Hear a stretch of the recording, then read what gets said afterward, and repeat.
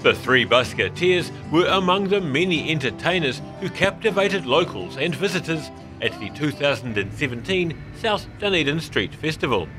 Speaking after organisers made sure no one, except this bear, was left behind, festival spokesperson Nick Orbell says it was a success. We've had a great day. Um, there have been probably more people here than at the last festival, and um, they've stayed for a, quite a long time. There's been three areas where there's been performance right throughout the festival, and so that, that's helped people to have something to do.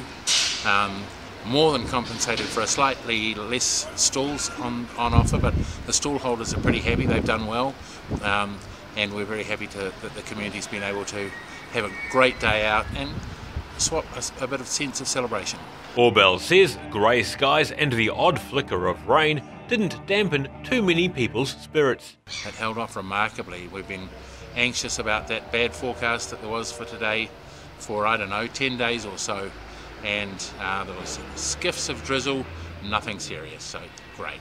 He says many stall holders reported having busy trading days. And he was at pains to thank the many volunteers who made the day really work. Nick Orbell and the organising committee say next year's festival is already in the calendar, scheduled for November the 3rd, 2018. Daryl Baser, The South Today.